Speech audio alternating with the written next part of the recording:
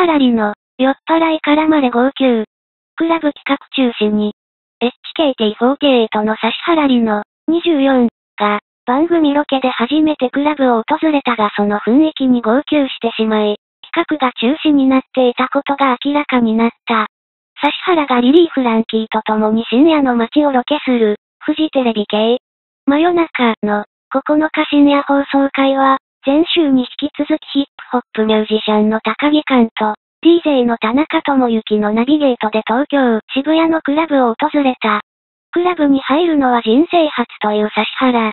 この日の放送では、訪れたクラブでフロアを歩いた後、指原がダンサーの女性たちにインタビューする映像が、オンエアされたが、その後、別で収録されたリリーだけの映像に切り替わり、リリーはロケの後日談として、あの日は、一応予定では、クラブに何軒か行った後に、最後にイベントの DJ の方に、フォーチュンクッキーをかけてくださいとお願いしていて、そのステージに指原が出て、みんなでフォーチュンクッキー踊ろうという予定があった。と説明。さらに、初めてのクラブで、いろいろ酔っ払いもたくさんいて、話しかけられて、人見知りなんで怖かったんでしょうね。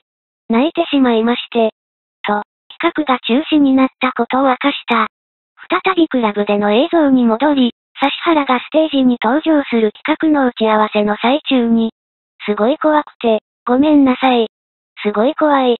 と、泣き出す指原の姿が、映し出された。しかしロケ後、クラブから出てリリーとラーメン屋に入った指原は、ラーメンをすすりながらカロリーを気にして、クラブで踊って帰ろうかな。フォーチュンクッキー。